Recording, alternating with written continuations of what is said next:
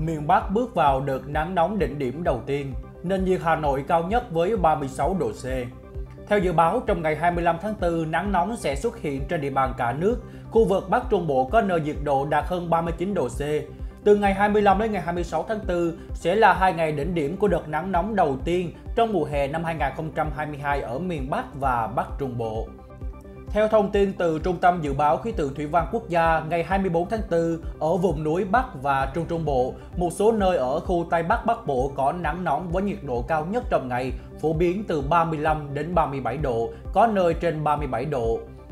Dự báo từ ngày 25 tháng 4 đến ngày 27 tháng 4 ở khu vực phía Tây Bắc Bộ, khu vực Bắc và Trung Trung Bộ có nắng nóng trên diện rộng với nhiệt độ cao phổ biến từ 35 đến 37 độ C, có nơi trên 37 độ C.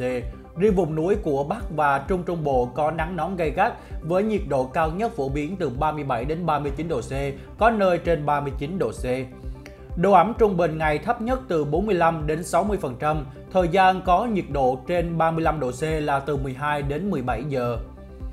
Từ ngày 25 đến ngày 26 tháng 4 ở khu vực đồng bằng Bắc Bộ có nắng nóng cục bộ với nhiệt độ cao nhất từ 35 đến 36 độ C, độ ẩm trung bình ngày thấp nhất từ 55 đến 65%, thời gian có nhiệt độ trên 35 độ từ 13 đến 15 giờ.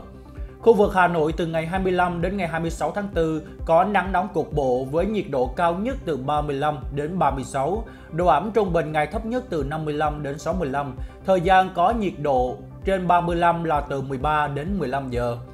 Ngoài ra, từ ngày 25 đến ngày 28 tháng 4 ở Tây Nguyên và Nam Bộ có nắng nóng cục bộ với nhiệt độ cao nhất từ 35 đến 36 độ C, có nơi trên 36 độ C. Hãy đăng ký kênh Alo Bác sĩ Video để nhận thêm nhiều thông tin mới nhất về y tế, sức khỏe.